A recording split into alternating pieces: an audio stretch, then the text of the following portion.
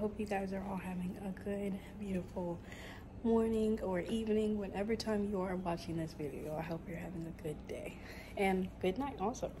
Um, this video is going to be a walkthrough of one of the barracks I stayed at previously and whatnot. I'm not going to say exactly which one, but you see in the comments, so it will be something easy, I guess, for Marines to know what I'm talking about. But if you don't know, you know, you probably just won't know. Anyway, this is gonna be a little barracks walkthrough for corporal. So if you're a corporal in the Marine Corps and you're wanting to know what your room might look like, this is what it's gonna look like. So stay tuned and um, don't forget to like, comment, share, subscribe, turn on the notification bell, and then uh, let me know in the comments of ideas if y'all want to know questions about the Marine Corps and stuff like that, let me know. I already do certain videos when people ask and whatnot. So people ask my Snapchat, they ask in the comments and through my social media that's available on the page.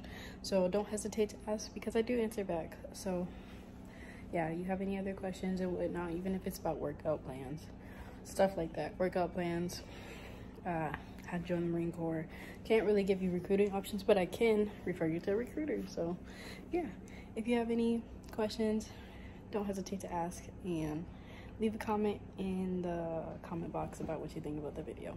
Thank you for watching and share this video. Officially moved out.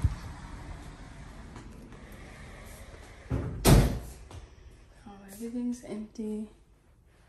This would make sense if I post the actual video of how my room was just decorated.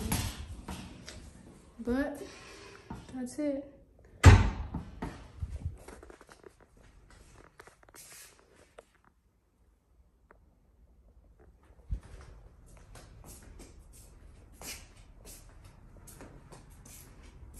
Whoever gets his room gets another little TV.